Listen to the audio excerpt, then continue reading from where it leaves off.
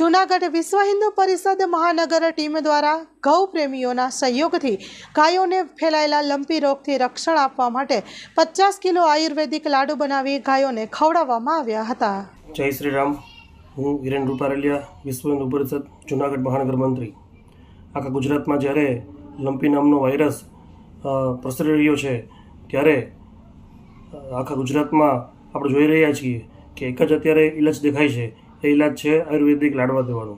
આ આયુર્વેદિક લાડવા વિશ્વ હિન્દુ પરિષદ જૂનાગઢ મહાનગર ટીમ દ્વારા તમામ ગૌપ્રેમીના આર્થિક સહયોગથી દરરોજ પચાસથી સાઠ કિલો લાડુ દેવામાં આવશે. જ્યારે આજે અમે સૌ એકત્ર થયા હતા, દસથી બાર કાર્યકર્તાઓ હતા, આ પચાસ કિલો લાડવા બનાવી અને ગાંધીનગર વિસ્તારમાં જે રેઢિયાળ જે ગયો છે, જે ગૌધન છે, એમને એ લાડવા દેવામાં આવ્યા. આ એક જનજાગરણનો વિષય છે. વિશ્વ હિન્દુ પરિષદ કદાચ રોજના સો કિલો લાડુ બનાવશે, તો પણ મને લાગે છે કે તમે તમામ ગૌધન સુધી પહોંચી નહીં શકીએ.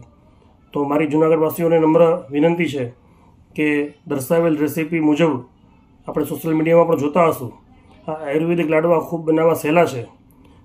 પ્રત્યેક જૂનાગઢવાસી જો આ રેસીપી સમજી લેશે, પ્રત્યેક મહોલ્લા કે પ્રત્યેક નાના નાના વિસ્તારોમાં એક નાની ટીમ બનાવી અને આ મુજબની રેસીપીથી આ લાડવા બનાવશે, તો મને લાગે છે કે ખૂબ નજીકના દિવસોમાં આપણે જૂનાગઢના તમામ વિસ્તારમાં નજીકમાં રહેતી જે ગૌધન છે, એને આપણે દરરોજ લાડવા આપણે આપી શકશું. તો દરરોજનો આ ક્રમ રહેશે, એટલે કે કમસે કમ ચાર પાંચ દિવસ સુધી પણ આપણે દરરોજ આપણે આપણા વિસ્તારની જે ગાય છે ગૌધન છે, એને આપણે આયુર્વેદિક લાડવા આપશું. તો મને લાગે છે કે ખૂબ જ વહેલી તકે આ લંપી નામના જે વાયરસ છે એમાંથી આપણે ગાય માતાને ઉગારી શકશું. જય શ્રી રામ.